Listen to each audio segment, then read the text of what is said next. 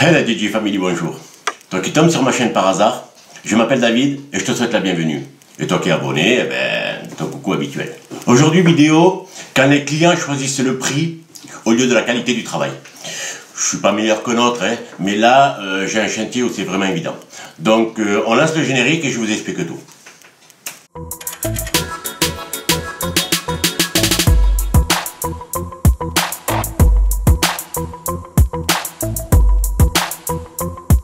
Alors sur ce chantier, il y a quelques temps, j'ai fait un devis pour placer une douche et caroler euh, l'intérieur de la douche avec, euh, avec un pare-douche en verre.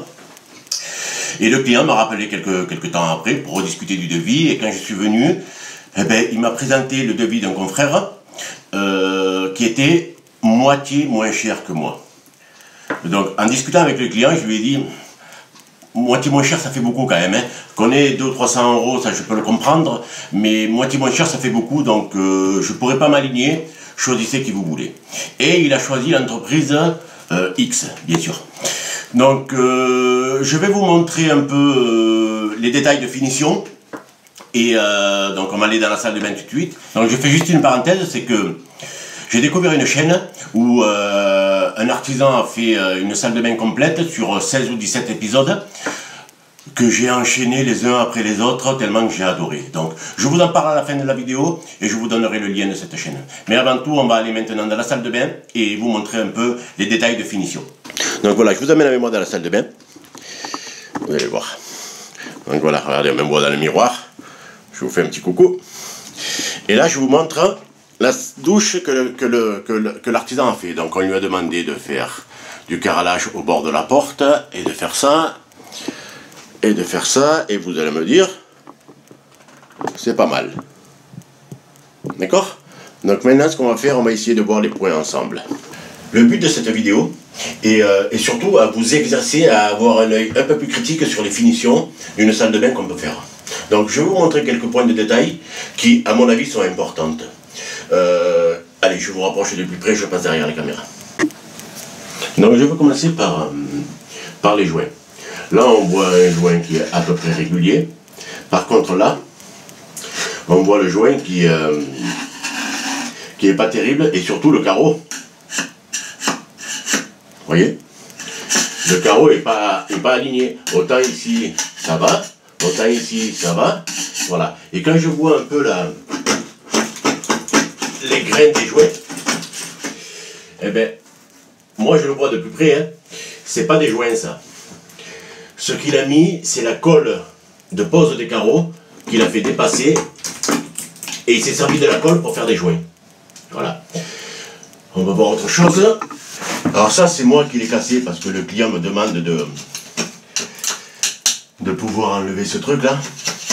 Alors honnêtement, je ne sais pas comment je vais faire. Si vous avez une astuce, vous, professionnel du carrelage, là, je veux bien l'apprendre vous me la mettez en commentaire. Ici, on voit l'alignement le, des carreaux qui n'est pas par rapport à celui-là. On a, un décalage qui est assez important. On a un joint qui est, qui est, qui est par rapport à ce joint-là, qui je sais il aurait dû mettre un coup d'éponge. Je, moi, je ne veux pas le critiquer, mais... Euh, euh, et, le truc qui, qui, qui, est à mon avis le plus embêtant, c'est au niveau du robinet, je vais vous le montrer. Alors, pour que vous y voyez bien, je vais enlever le robinet. Donc je vais enlever le robinet. Voilà.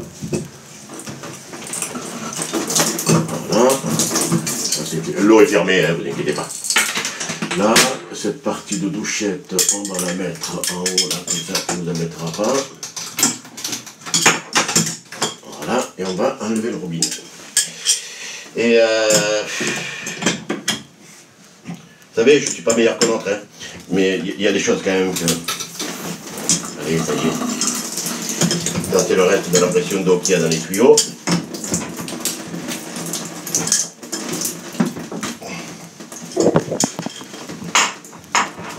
Alors, j'enlève le robinet et l'entreprise qui a fait la salle de bain, on va dire qu'elle ne s'est pas embêtée.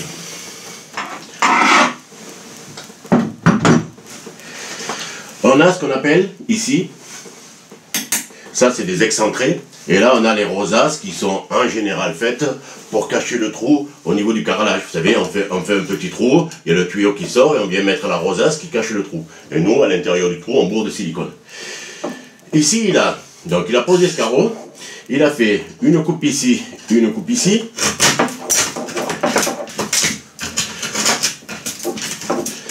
Il a posé le carreau en dehors,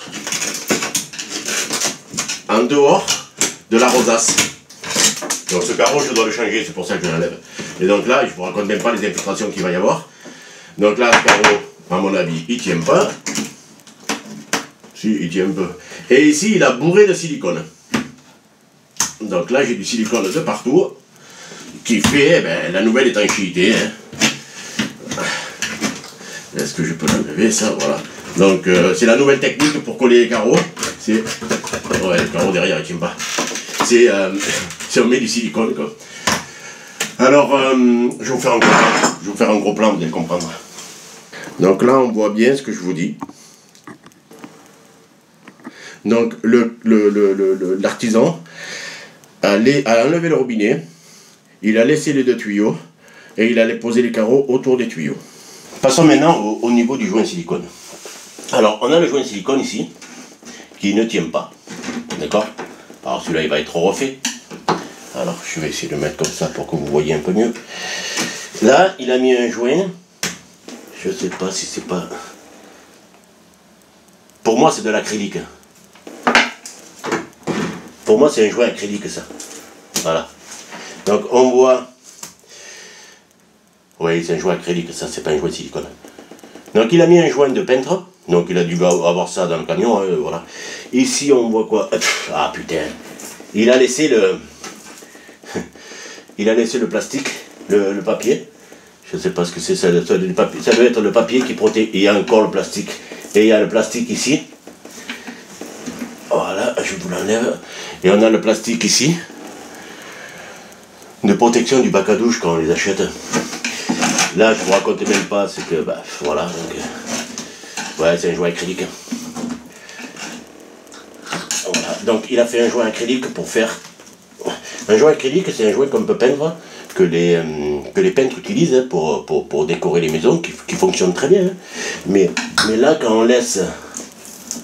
Quand on laisse le plastique de protection, forcément le joint se colle sur le plastique, et le plastique il colle pas sur le, On va passer sur l'angle. On va passer sur l'autre côté, on va voir. L'angle, je vais vous faire un zoom. Voilà, je vais essayer de ne pas me mettre trop trop devant. Et ici, eh ben voilà, Ici, au lieu d'avoir le carreau complet avec le joint, eh, euh, bon voilà, en gros c'est du travail de merde quoi. Voilà, il faut, faut appeler un chat un chat. Là-bas dans l'angle, pendant que je le vois, je vous le mets aussi. C'est fissuré, je ne sais pas si vous le voyez ici. Allez, allez, je force pas, hein, je force absolument pas. Comment vous voulez que cette douche, elle soit étanche? Donc, encore, encore le plastique. Vous voyez? Je vous enlève en direct, hein. je vais dézoomer un peu parce que ce sera plus facile. Voilà. Donc, euh, voilà, donc joint acrylique hein, qui tient pas. Lieu de poser les carreaux dessus, il les a posés, il a... Ah putain, bon. On va arrêter. Donc voilà, moi ce que je dois faire sur ce chantier, c'est... Je dois enlever ces, parois en plastique, hein. il y en a tout le tour, je vais vous montrer. Je dois essayer de récupérer un peu... Rendre un peu cette douche étanche, donc je vais voir comment je vais me débrouiller. Et euh, voilà, le but, de, le but de vous montrer ça, c'est pas de critiquer l'entreprise, hein, c'est pas ça. C'est plus de vous former à avoir un œil un peu plus critique pour les, gens qui, pour les gens qui viennent faire des travaux chez vous. Voilà, donc je vais vous montrer ce que je dois faire. Donc je dois enlever ce plastique là, je vais enlever le lavabo pour le remettre après. Je dois enlever tout le plastique qui est autour. Et, euh, et, continuer, et continuer le style de faïence que, que le client a choisi pour caroler jusqu'au plafond. Donc voilà, vous avez vu un peu les, les détails qu'il faut que je récupère maintenant. Euh, pour voir une salle de bain qui est, hum, qui est pas trop mal faite, même qui est très très bien faite. Je vous invite à aller voir la chaîne que je vous parlais du début, qui s'appelle Mec in France. Voilà. C'est euh, quelqu'un qui a fait... Euh, comment j'ai découvert cette chaîne? J'ai découvert cette chaîne par hasard, en traînant sur YouTube, comme, comme vous et moi on fait. Et il a fait une vidéo quand il refait une salle de bain avec 16 ou 17 épisodes.